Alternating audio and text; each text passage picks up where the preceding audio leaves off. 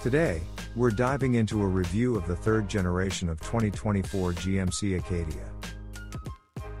The 2024 GMC Acadia sports a refined and rugged design that stands out on the road. Up front, the bold grille and signature C-shaped LED headlights give it a commanding presence. The sleek lines and muscular fenders add to its robust appeal. The 2024 GMC Acadia offers three trims levels.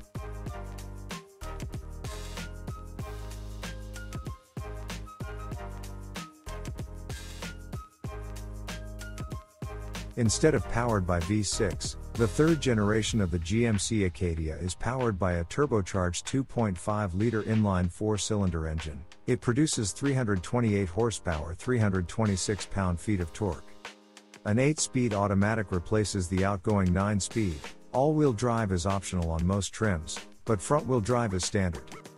The engine note isn't anything special, but acceleration is strong enough to make confident moves. The off-road inspired AT4 trim level adds GMC's active torque control all-wheel drive system as well as a taller ride, a suspension tune for unpaved adventures, and skid plates. Every GMC Acadia can trailer up to 5,000 pounds when equipped with the optional towing package.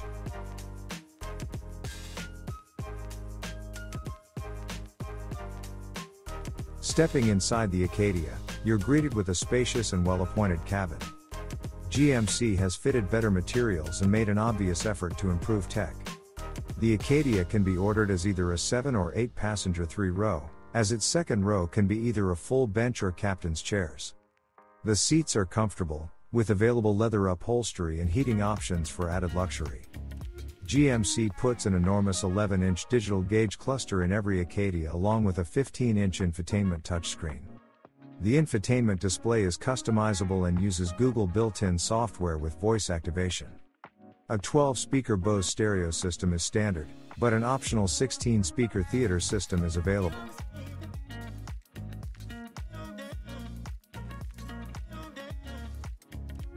GMC has equipped this SUV with a suite of advanced safety features, such as automated emergency braking, automatic high beam headlamps, blind spot monitoring, and lane keeping assist.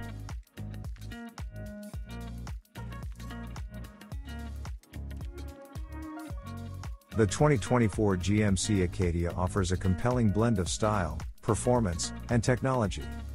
Whether you're a family in need of space and safety or an adventurer seeking capability, the Acadia is well worth considering. So, will it be your choice? Share your thoughts in the comments.